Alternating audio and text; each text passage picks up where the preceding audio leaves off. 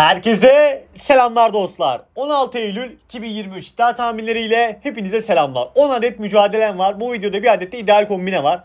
Artı 300 seviye beğeniye geçtiği için ben sizlere ideal kombine vermeye devam edeceğim. Yine aynı artı 300 geçerse ben sizlere ideal kombine vermeye devam edeceğim bilginize.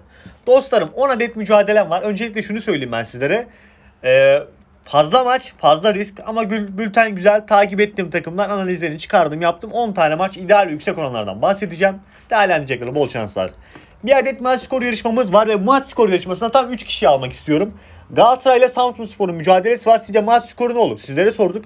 Bilen tam 3 kişiyi Kato Telegram gruplarımıza ay sonuna kadar ekleyelim bilginize. Yorumlara yazmayı unutmayınız. Her türlü soru, görüş, öneri için de veya skor bilenler benimle Instagram üzerinden iletişim kurabilir. Instagram adresimiz Kangal olaraktan da buradan benimle doğrudan iletişim kurup gruplara girmek isteyenler de buradan doğrudan bilgi alabilir benden. Geçtik. En son raporla başlayalım. En son 12 Eylül raporu vardı zaten. En son video çektiğimizde oydu.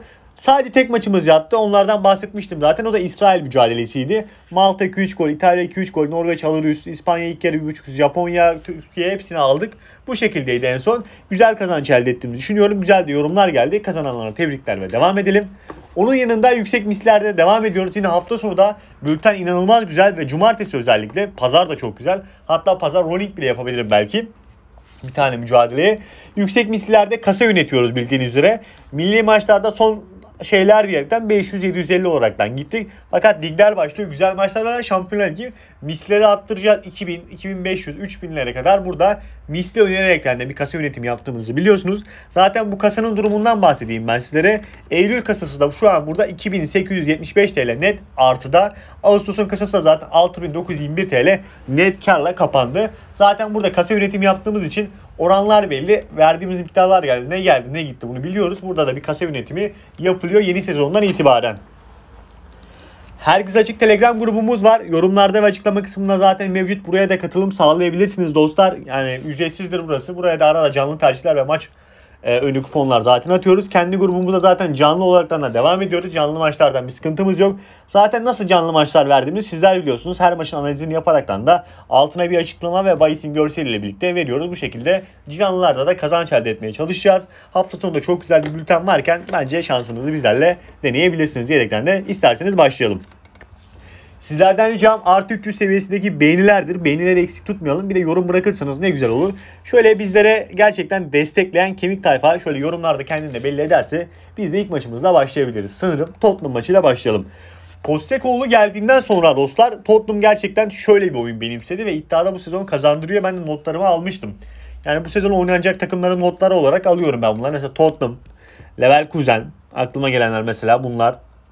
Brighton zaten geçen sezonda öyleydi. Newcastle geçen sezon kazandı. Bu sezon kötü başladı. İdeal kombineme de aldım mesela. Tottenham bu maçta muhtemelen yine ileride sonla başlayacaktır. Forvet olarak son başladı.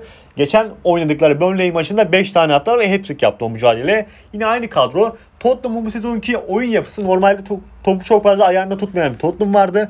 Fakat bu yıl Postecoğlu ile birlikte topu çok fazla ayağını tutan bir Tottenham var. Eğer böyle devam ederse ilk dörtte bitirme şansları da bence var. İyi bir futbol sergiliyor. Daha erken Sheffield'da oynayacaklar. Sheffield'da son maçında evinde oynadı. Berabere kaldı. O maçta da Everton biraz daha iyiydi. Onu söyleyebilirim. Deplasmanda ikinci maçına gidecek. Nottingham Forest'ta deplasmanda kaybetmişti. Formda bir Tottenham var. Tottenham var. Ben burada 2.5 üstüne 1.45 gibi orandan tek tercih olarak öneriyorum. Mücadele Tottenham 2.5 üstüne bile taşıyabilir. Tek başına 2.5 üstüne 1, 2-1, 3-1 ayarında bir mücadele geçebilir. Değerlendirecekler bol şanslar. İkinci mücadelem Kayseri ile Gaziantep mücadelesi. Yüksek oranında ve skoruma kadar önerebileceğim bir mücadele. Öncelikle Kayseri tarafında Çağdaş Atan'la yollar ayrıldı. Çağdaş Atan Başakşehir'e gitti. Recep Uçar geldi ve Recep Uçar ilk mücadelesine çıkıyor. Gaziantep'te de aynı şekilde Erdal olması Erdal Hoca ile yollar ayrıldı. Takımın başına Süper Lig'de Gaziantep'te e, prime dönemini yaşamış bir Sumidika vardı. Tekrardan takımın başına geldi. İki tane yeni hocanın karşılaşması. Ben burada önceliğin bu kadar kötü giden Gaziantep'in Şumidika ile birlikte ve takımın ve taraftar da Şumidika'yı bildiğiniz üzere bağlı. Zamanında Gaziantep'te 1.55 ortalamayla maç oynayan bir teknik adamdan bahsediyoruz. Burada ben Gaziantep tarafının bir golünü bekliyorum. Aslında güzel oran açılsa tek ona gidecektim. Fakat oran açılmadı. Fakat şunu söyleyeyim. Avrupa'da oynayanlar Gaziantep'in bir golünü değerlendirebilir. İki yeni hocanın birbiriyle karşılaşması, bir beraberliğin çıkmasını da bekliyorum.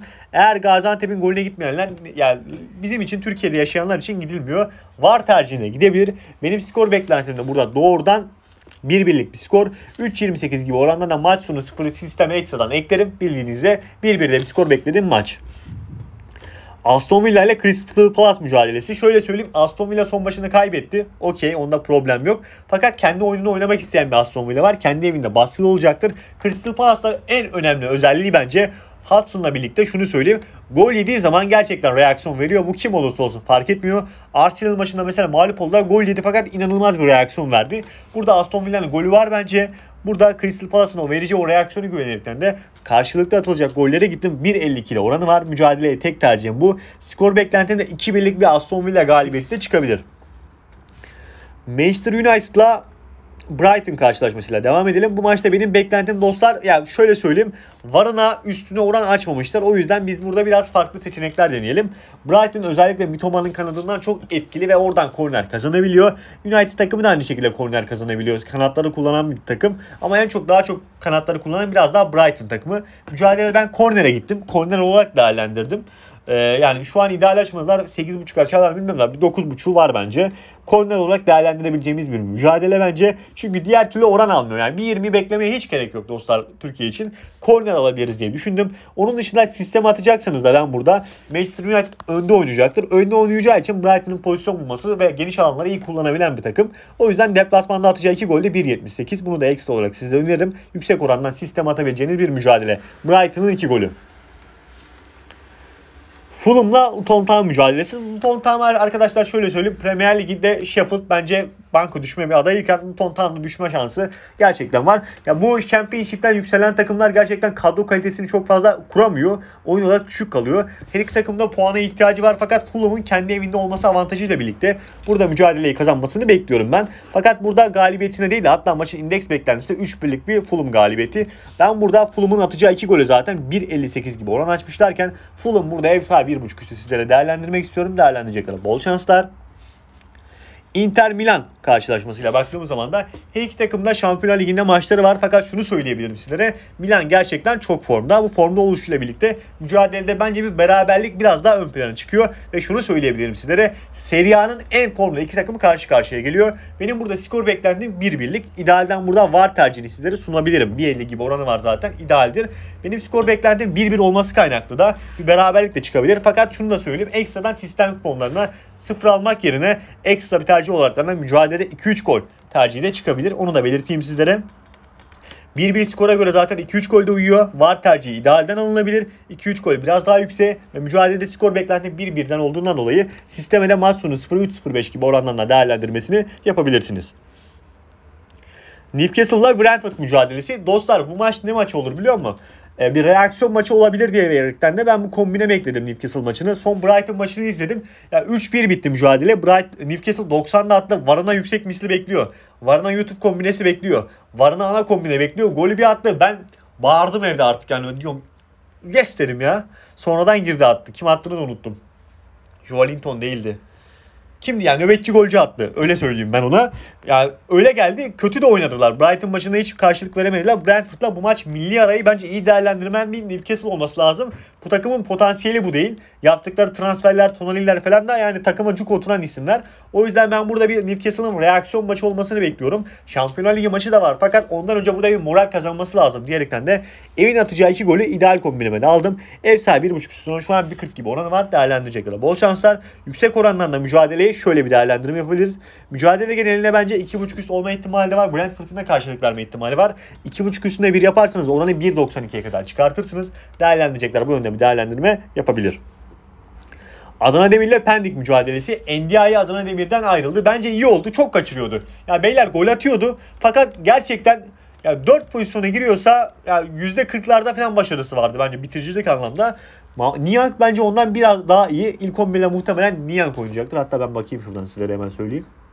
Aynen Niang oynayacaktır. Akintola, Belhanda, Yusuf Sarı, arkada Akbaba, Stonboli. Süper kadro. Pendik'te Mitsu'yu aldı. Bence iyi transfer. iyi de oynadılar. Adana Demir oranı gerçekten düşüyor. Dün ev sahibinin oranı 1.40'larda oranı vardı. Ev sahibi 1.5 üst. Oran şu an 1.31'e kadar düştü. İdeal kombineyi aldığım maçlardan bir tanesi yine düşmüş. Bakın çok çabuk düşüyor. Erkenden değerlendirin bak. Bu oran 1.20'ye kadar düşerse şaşırmayacağım. 1.37'den ben aldım. Sabah bir 31'e düştü. Şu anda 28'e kadar düşmüş. Ben Adana Demir'in atacağı buradan 2 golü aldım. Ha oranı biraz şöyle de yükseltebiliriz. Ben burada bir Adana Demir galibiyeti bekliyorum. Kombineme şey aldım. Ev 1.5 üst olarak aldım. Fakat 1 ve 1.5 üst yaparsanız oranı 1.46'ya kadar da ekstradan yükseltebilirsiniz. 2-1-3 bir arasında bir Adana Demir galibiyeti çıkma ihtimali var bence.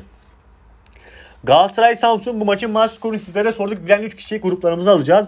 Galatasaray'da arkadaşlar Endombele kadroda olacak süre verebilir. Okan Hoca'nın açıklamasına göre. Ziye kadroda olacak süre verebilir. Okan, Hoca, Okan Hoca'nın açıklamasına göre. Zaha'nın da durumu duruma göre belli olacak. Yani bugün veya yarın belli olacakmış.